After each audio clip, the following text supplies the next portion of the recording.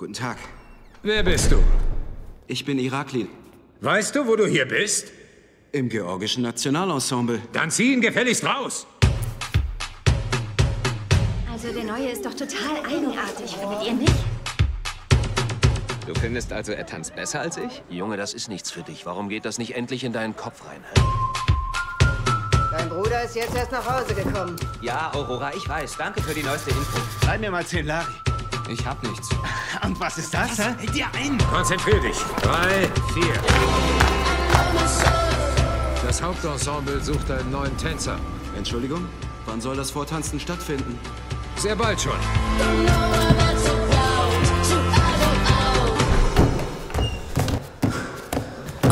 Du machst das nicht richtig.